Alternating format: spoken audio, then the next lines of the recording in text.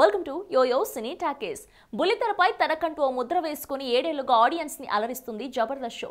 ఈ కామెడీ షోతో ఎంతో మంది ఆర్టిస్టులు వెలుగులోకి వచ్చారు. జబర్దస్త్ నే ఇంటి పేరుగా చేసుకుని కొంతమంది తమకంటూ ఓ స్థాయిని ఏర్పాటు చేసుకున్నారు. అయితే కొన్ని రోజులుగా జబర్దస్త్ వార్తల్లో నిలుస్తూనే ఉంది. జబర్దస్త్ షో నుంచి నాగబాబు బయటకు రావడమే ఓ పెద్ద సెన్సేషన్ వస్తూ వస్తూ షో మీద నిర్వాహకుల మీద విమర్శలు చేశాడు నాగబాబు తన యూట్యూబ్ ఛానల్లో జబర్దస్త్లోని అంతర్గత విషయాలను ఎపిసోడ్స్ ఎపిసోడ్స్గా వీడియోలు పెట్టాడు. జబర్దస్త్ సీనియర్ ఆర్టిస్టులు వేణు వండర్స్ ధనరాజ్ వంటి వారు చమక్ చంద్ర కిరా కార్పిలతో మరో ఛానల్లో అదిరింది అంటూ ఓ కొత్త షోను ప్రారంభించారు. జబర్దస్త్లో క్రియేటివ్ డిఫరెన్స్ వల్ల బయటకు వచ్చామని చెప్పుకున్న దర్శకులు నితిన్ భరత్ల ఆధ్వర్యంలో ఈ కొత్త షో నడుస్తుంది. జబర్దస్త్ అదిరింది షోలలో పోటాపోటీగా పంచులు పడుతూనే ఉంటాయి. అక్కడి ఆర్టిస్టులు ఇక్కడ ఇక్కడి ఆర్టిస్టులు అక్కడ ఒకరిపై మరొకరు సెటర్లు వేసుకుంటారు. ఇందులో ముఖ్యంగా హైపరాది అనసూయ నాగబాబు వంటి వారిపై పరోక్షంగా పంచులు వేస్తూనే ఉంటారు. ఇక తాజాగా జబర్దస్త్ జోలికి మళ్ళీ వెళ్ళనని కిరా కార్పి చెప్పుకొచ్చారు. తాజాగా ఓ యూట్యూబ్ ఛానల్తో మాట్లాడుతూ ఎవరు ఎవరికి లైఫ్ ఇవ్వరని తెలిపాడు.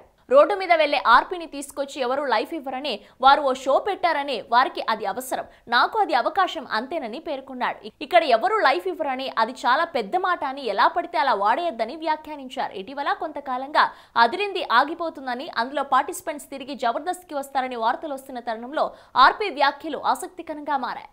హలో మిమ్మల్ని సినీ సెలబ్రిటీస్ రియల్ స్టోరీస్ ఏంటో తెలుసుకోవాలనుందా? లేటెస్ట్గా రిలీజ్ అయ్యే మూవీ రివ్యూస్ నేను చెప్తే వినాలనుందా? ఇంకెందుకు ఆలస్యం? యోయో సినీ టాకీస్ని సబ్స్క్రైబ్ చేసుకోండి. బాయ్! హా అన్నట్టు ఇంకో విషయం మర్చిపోయాను. కింద ఒక గంట సింబల్ ఉంటుంది దాన్ని లాగి బట్టి ఒక్కటి కొట్టండి.